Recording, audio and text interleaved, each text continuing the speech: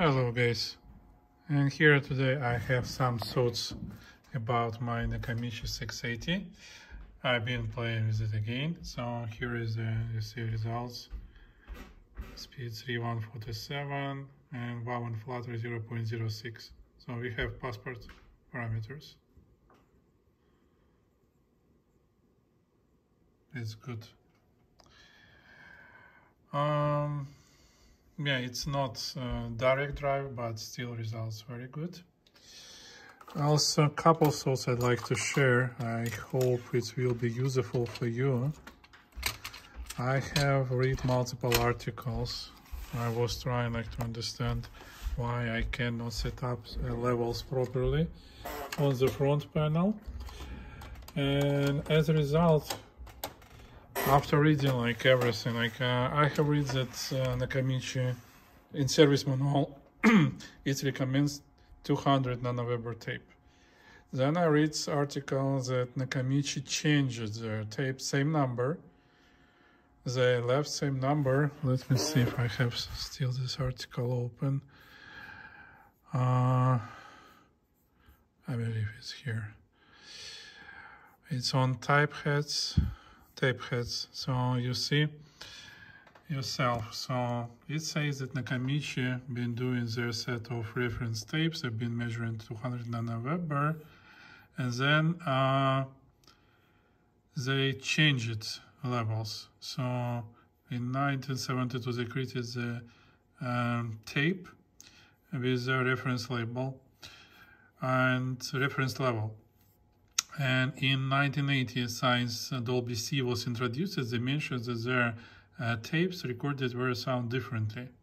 And that's where they made a, a choice to adjust. So they left the same number, D09005, for the tape, but at the same time they reduces the level by one decibel. Okay, interesting. So I may assume that uh, the levels uh, we are have with the current Dolby tapes should be plus one decibel to the one which on the commission been recorded. Okay, in this case we getting even like better here on adjustments. We are getting on the right side. We cannot almost adjust everything. However, I thinking further, I decided to make a playback level as zero VU specifically considering that we have this VU mode, fancy, and uh, that uh, it was 1979 when all decks, most of decks, had been using uh, needle indicators, right? And oops, right after I have like, let me show you, all pots for all speeds like are exactly around the middle and I may put any tape and they will be around the middle. So I truly believe that this deck for the playback has to be tuned as zero VU here uh, to properly play and specifically to match other decks from this age when they have uh, Dolby B. Uh, because they've been using Dolby B and they had a zero VU that's my thoughts and what I'm done also. I did measure a couple other things. Let me show you what I'm receiving. So I just was playing was trying another tape uh, from Sony. And its records well easier. Let's start from the type 1 tape Let's do calibrated first.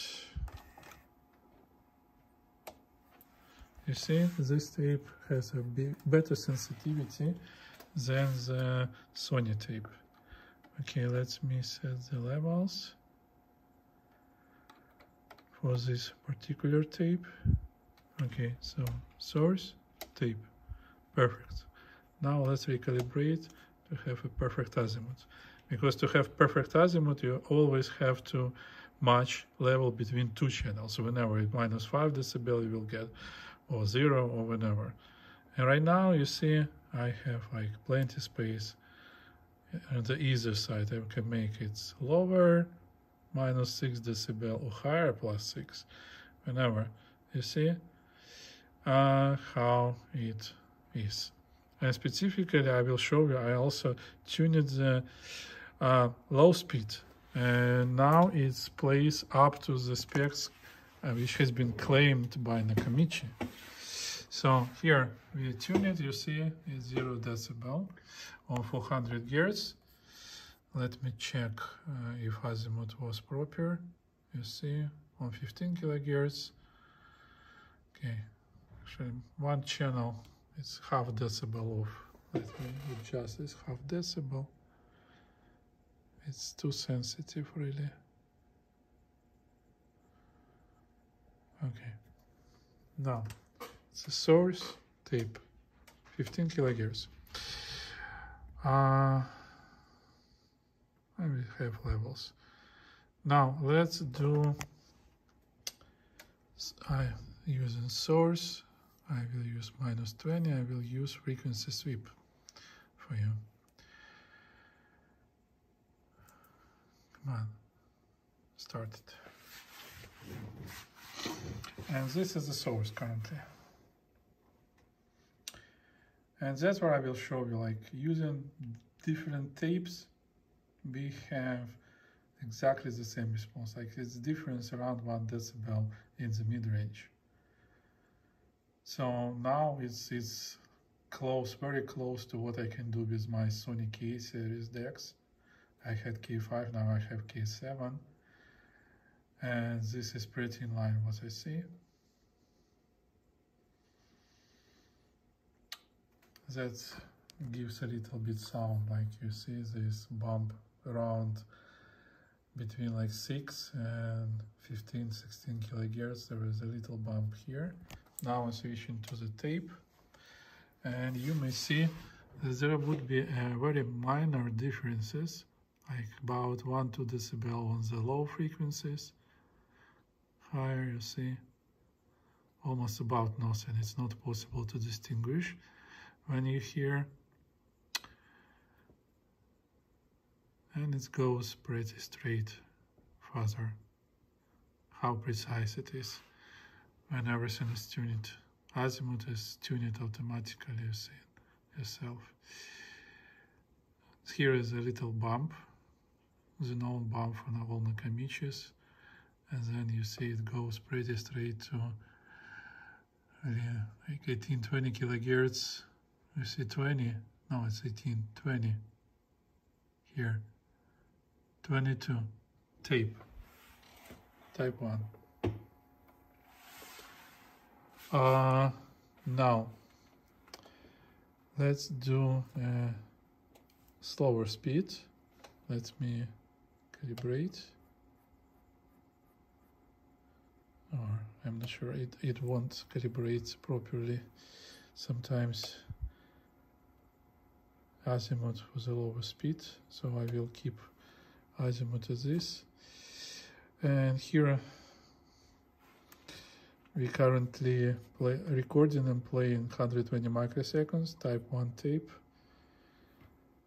and let me do source first. So switching between.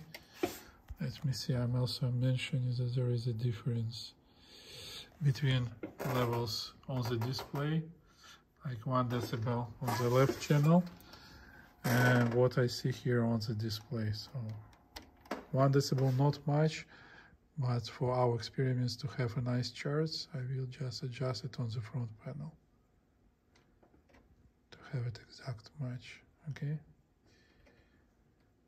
for recording it would not matter much but now I can do frequency response on the type 1 tape from my measurement, uh, it gives uh, pretty good results. Uh, type 1, it goes up to 13 kilohertz. Well, and then drops. Or for type uh, 2 is 14 kilohertz, and for type 4, it will be 15 kilohertz. So here is our recording. You see it's type 1, it's tape playing currently.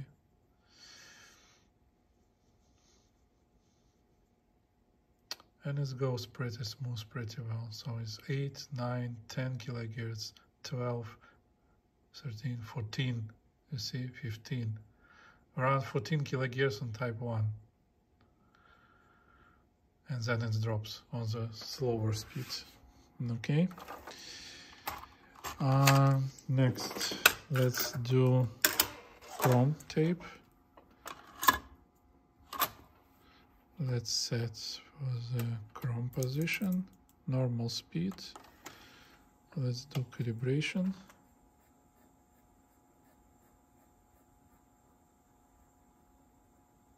Okay, one channel a little bit off.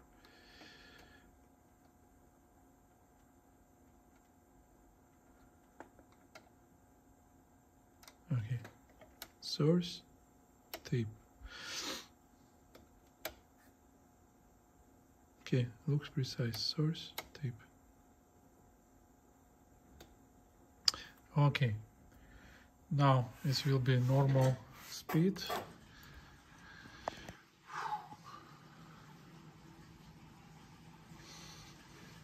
Let's redraw. That's while we were tuning like you see those spikes. Actually can can start from the beginning. Clean it up. And then do clean picture. And it's tape. Normal speed. And you will see it's it's very nice so my measurement shows it's it's a very minor difference from the source I will show you with the white noise and pink noise a little bit later how it's performed.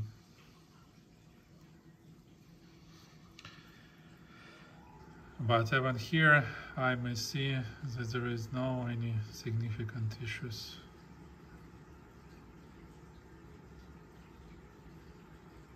Okay, we have, I believe, azimuth is not there because we have a difference between two channels now. Let me see. yeah. Let me try to recalibrate. Yeah see azimuth is off. Now it's, it's and now we have a proper response uh, let me see That's always like uh, when you calibrate, so you see there like a level and there is additional indicator of the azimuth. They both should be on the same position as the level. If not there, this means azimuth is wrong and you need to recalibrate.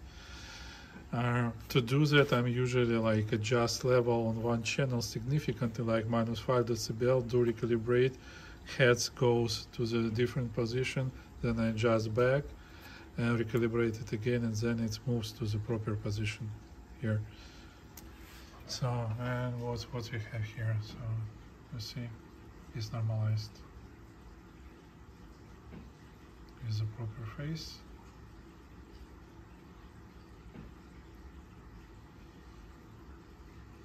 let's go wells above 20 kilohertz and let's do a slower speed. And we'll use 120 milliseconds. As it recommended for slower speeds always use 120 now let's see the difference. I believe it will go up to 14 kilohertz and then we'll drop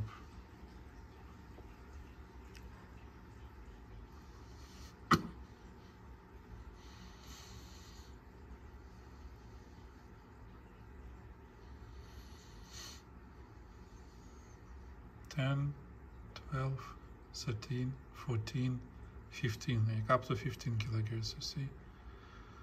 So pretty good response for the slow speed. I probably would do a recording uh, of the music I've heard myself there is loss of the high frequencies, but uh, it's manageable. Now let's do metal tape on the normal speed.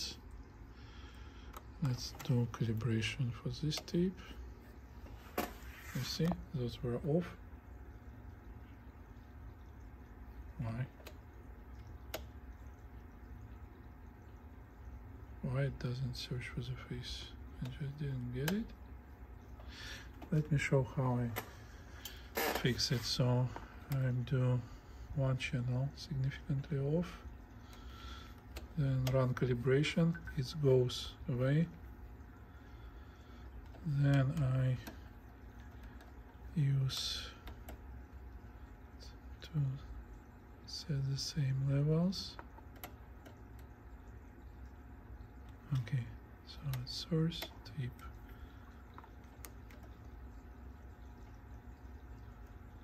Okay, now let's try calibrate again.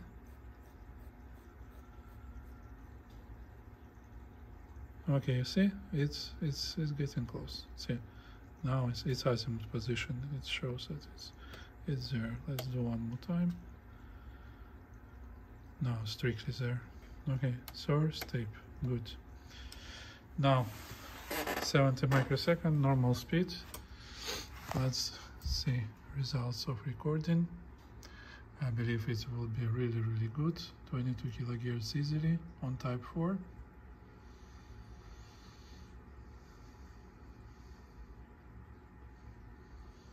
You see yourself.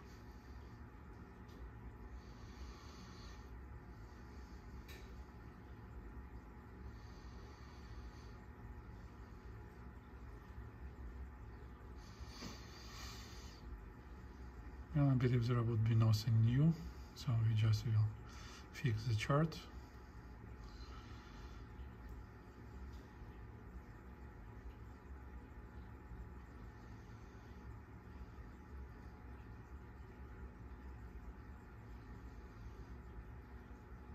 Okay, you see, it goes pretty smooth. For type 4, I would say very, very good.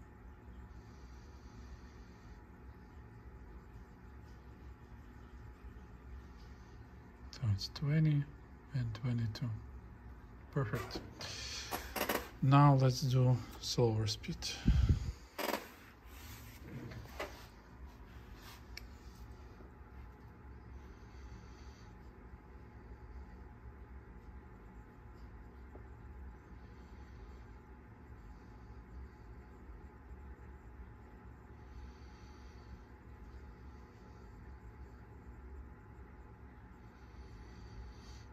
See how well it repeats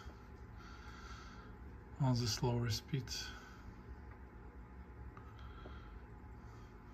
Okay, 5 kilohertz, 8, 10, 12, 14, 15, 16 kilohertz. See 16 kilohertz minus 3 decibel on type 4. Very, very good. Okay, now let's do restore high speed. Oh, and I didn't tune like 120 for the slow speed. You see? Let's do one more time with 120 microseconds. Will it change it or not? But with 70 it was, was very good.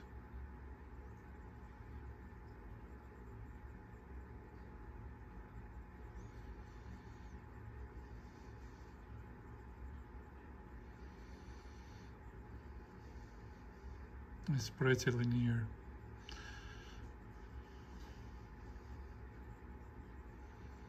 No, basically exactly the same. I don't see big difference between 70 and 120.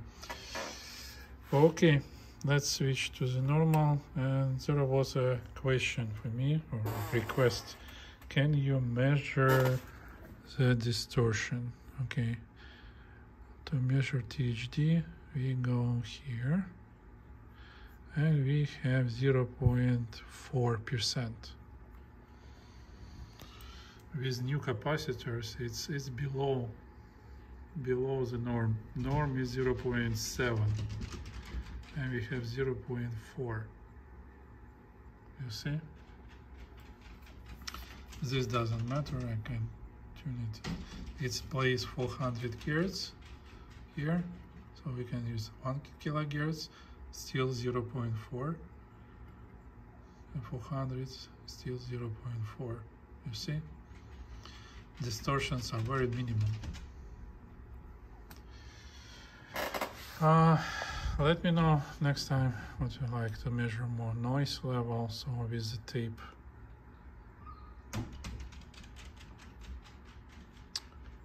So it's minus 40 minus 50 minus 52 I believe from the tape and from the deck nothing to tell about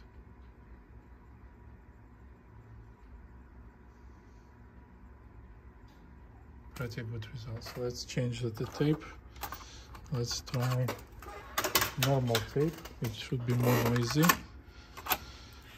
Uh, 14 yeah see. It's more noisy like 4 decibel difference. Three and a half decibel difference. The noise level? Let's try Dolby. And you see Dolby drops by 10 decibel approximately. Noise levels without Dolby.